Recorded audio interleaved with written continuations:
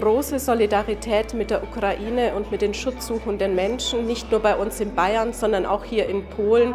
Ich habe den Menschen hier vor Ort auch gedankt für diese Unterstützung und gleichzeitig auch den kurzen Austausch mit ukrainisch Geflüchteten gesucht. Und es ist eben wichtig, dass wir hier weiterhelfen.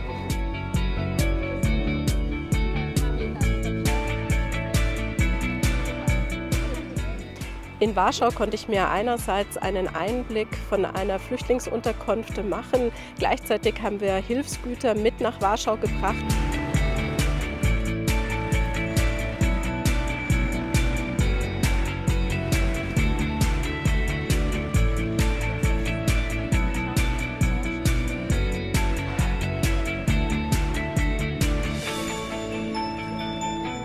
Es ging aber vor allem darum, auch die polnisch-bayerischen Wirtschaftsbeziehungen zu intensivieren. Und wir wollen auf dem Gebiet weiter und intensiver zusammenarbeiten, zum Beispiel bei Medizin und Medizintechnik.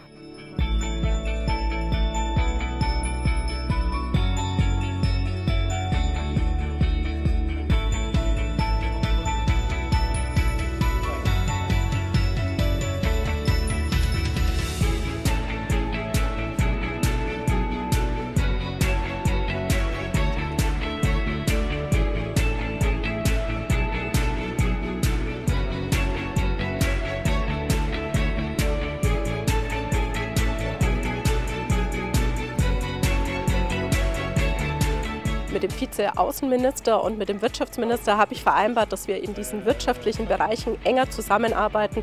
Die nächsten Schritte werden sein, dass die Arbeitsebene zusammenkommt, dass wir Unternehmen zusammenbekommen, dass wir Workshops gemeinsam organisieren, um so unser Verhältnis im Bereich der Wirtschaft zu intensivieren.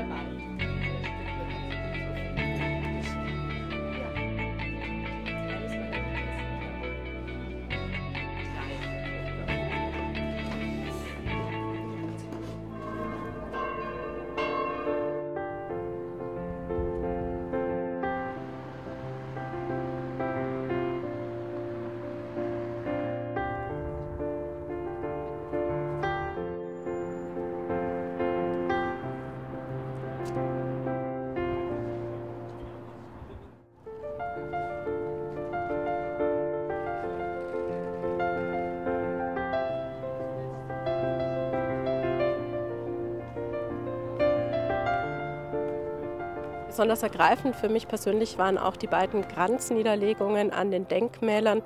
Und vor allem heißt für mich deutsche Geschichte auch Verantwortung.